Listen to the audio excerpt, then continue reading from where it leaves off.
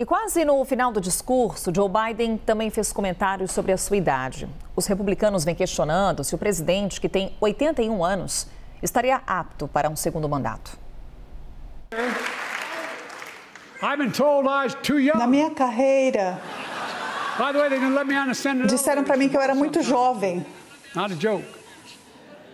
Eles não deixavam nem entrar no elevador, isso não é uma piada, quando eu comecei. Disseram, agora já dizem que eu sou muito velho. Seja novo ou velho, eu sempre soube o, o, que, o que precisamos fazer, eu sempre soube o que nos guia. A ideia dos Estados Unidos é que todos somos iguais, devemos ser tratados de forma igual.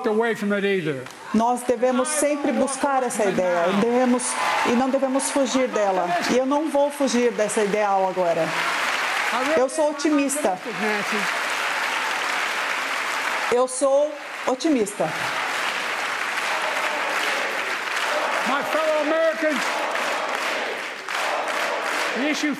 Meus compatriotas,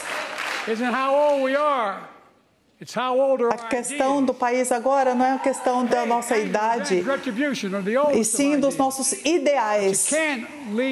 Ressentimento, vingança, retaliação são ideias velhas, mas elas não podem liderar os Estados Unidos.